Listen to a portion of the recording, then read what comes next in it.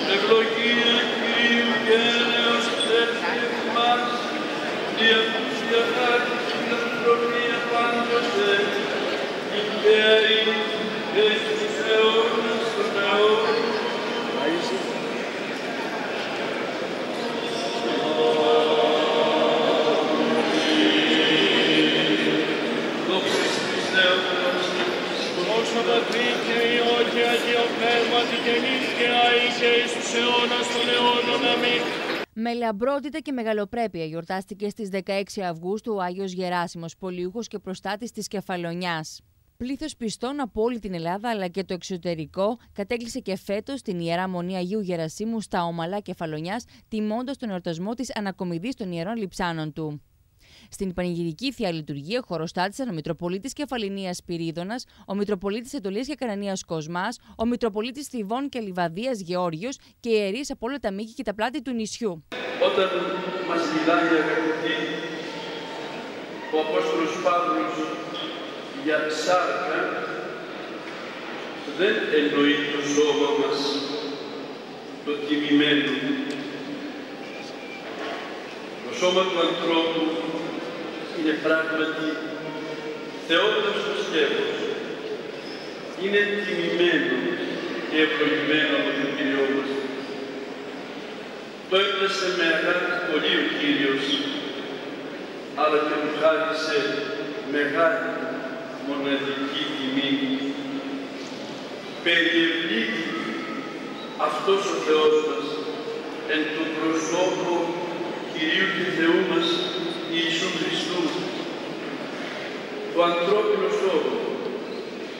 Φόρεσε δηλαδή ο Θεός το σώμα και το σώμα του ανθρώπινου έγινε κατοικητήριο της Θεότητος. Ο Απόστολος Παύλος ονομάζει το ανθρώπινο σώμα ναό του Ελληνήν Αγίου Πνεύματος. Το ονομάζει ναό Θεουζώνος. Το ονομάζει μέλος του Χριστού. Και αυτό το σώμα μας, το χωικό δικό μας σώμα, αξιώνεται να ενωθεί με το Πανάγιο Σώμα και το αίμα του Κυρίου μας όταν κοινωνούμε τον Αγάπη Μυστηρίο.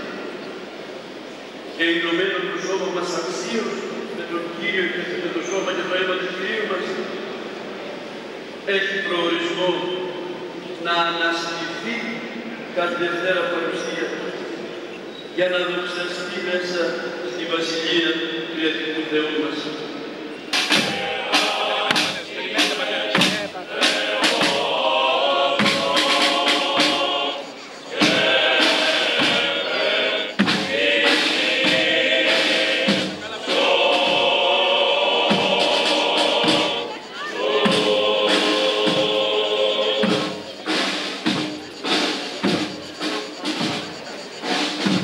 Στη συνέχεια ακολούθησε η λιτανία του σκηνώματος του Αγίου και αρκετοί πιστοί κατά τη διάρκεια της λιτανία κατάφεραν να περάσουν κάτω από το σκήνομα του Αγίου.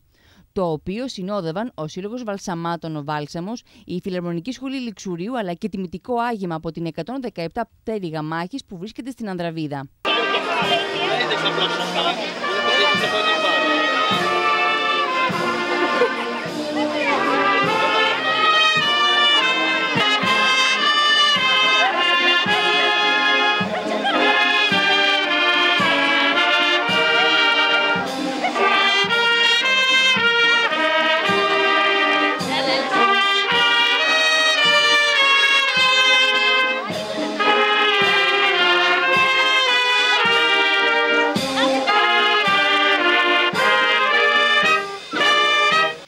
Επίσης, πλήθος εκπροσώπων της πολιτικής και των σωμάτων ασφαλείας του νησιού έδωσαν το παρόν στη θεία λειτουργία και τη λιτανία.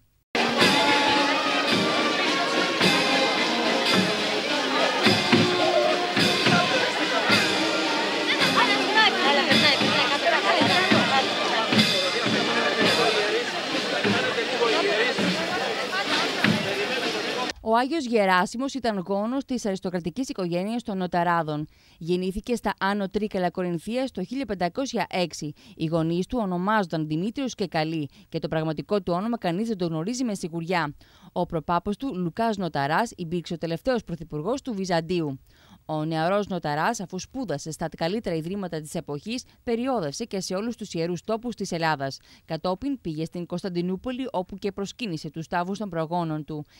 Γνωρίζουμε ότι ήταν μόνο ευσεβού με και αγερμένη οικογένεια, αλλά και οικογένεια ουσία και όντως αρχοντική και μπορούσε ο Άγιος Γεράσιμος, έχοντας τα πλούτη τα πολλά, ως νέος, ως έφηβος, να επιλέξει μια ζωή γεμάτη στεμένης, μια ζωή πατρών και αδυναμιών, μια ζωή για την οποία θα διαπονούσε τις συλλονές, ο κάθε πάθος του και θα γινόταν όντως εξαρτικός άνθρωπος, που ευθύτευσαν όμως οι καλοί του γονείς, το φως του Χριστού μέσα που πίστη στον Χριστό. Και έχοντας την πίστη στον Χριστό αγάπησε τον Κύριο, γνώρισε τον Κύριο, δόθηκε ολοκληρωτικά στον Κύριο, προσπαθούσε και αγωνίστηκε να ελευθερώσει τον άνθρωπο από τον παλαιοάνθρωπο από τα πάθη, αλλά γεννήθηκε και είδε ότι όλα τα του κόσμου είναι σκύβαλα μπροστά στην αγάπη του Χριστού. Η άσκησή του, η εγκράτεια του, η νηστεία του, ο πνευματικός του αγώνας, οι ορνίκες προσευχές του και οι αδιάκριτες τον έκαναν να ποθεί περισσότερο τον Χριστό και να ζει περισσότερο την καθαρότητα και να αγωνίζεται να απομακρύνει κάθε πάθος από την καρδιά του, από τον παλαιό του άνθρωπο. Έγινε μοναχός στο Άγιο Όρος και έπειτα φεύγει προς τους Αγίους Τόπους. Εκεί χειροτονείται χιμανδρίτη και παρέμεινε για 12 χρόνια, υπηρετώντας τον ναό της Αναστάσεως. Λάτρης της ησυχίας έφυγε από εκεί και πέρασε στην Κρήτη για να καταλήξει μετά στη Ζάκενθο, όπου και παρέμεινε για ένα περίπου χρόνο. Στην Κεφαλονιά επιστρέφει το 1555 και ασκητεύει σε ένα σπήλαιο στην περιοχή Λάση κοντά στο Αργοστόλι. Στα Ομαλά, ο Άγιος Γεράσιμος πηγαίνει πέντε χρόνια μετά, όπου και ανακαινίζει το ξοκλήσι της κοιμήσεως της Θεοτόκου και ιδρύει γυναικεία κοινοβιακή μονή που την ονομάζει Νέα Ιερουσαλήμ. Ο Άγιος Γεράσιμος κοιμήθηκε στις 15 Αυγούστου το 1579 και επειδή εκείνη την ημέρα είναι και η κοίμηση της Θεοτόκου, ο Άγιος γιορτάζεται την επόμενη. Το σκήνομά του έμεινε ως εκθαύματος ανέπαφο. Όταν στις 20 Οκτωβρίου 1851 ανακτήθη, ο παριστάμενος πατριαρχικός έξαρχος Γαβραήλ Σεβίρος αποφάσισε τον εκ νέου ταφιασμό μέχρι που την 20 Οκτωβρίου 1582 ανακτήθηκε εκ νέου πάλι ανέπαφο από την φθορά του χρόνου. Εορτάζεται στις 16 Αυγούστου και στις 20 Οκτωβρίου οπότε και γίνεται μεγάλη λιτανία. Ο Άγιος Γεράσιμος είναι ο θαυματουργός Άγιος του νησιού και χιλιάδες επισκέπτες προσκυνούν το σκηνομά του που σήμερα βρίσκεται στην καινούργια εκκλησία η οποία χτίστηκε μετά τους σεισμούς του 1953.